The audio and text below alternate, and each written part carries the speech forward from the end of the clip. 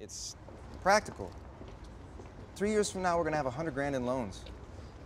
Guys who get fridges out of frat house dumpsters don't get the major in bullshit. It's not fair. Well, then go change the world, which you can't do working at a comic book store with a bachelor's degree in fucking hobbits. Ow. You miss it. Come on, admit it. You want to do this. yeah, you got me. I lost my ski lodge in Aspen, and all my friends named Bryce. I've been three weeks without sushi. My French tutor don't treat me nice. I got them trust fund blues. Ooh la la. oh, ma chérie.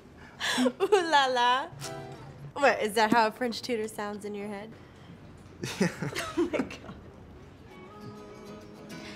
And when's the last time you did anything just for you?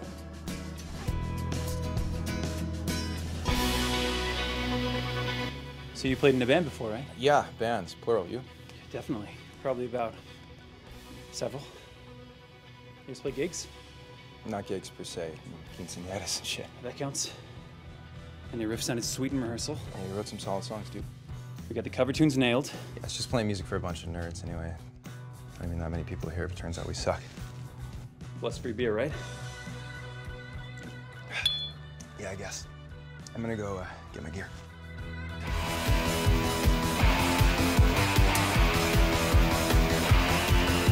Standing there alone, the ship is waiting, all systems are go. Are you sure?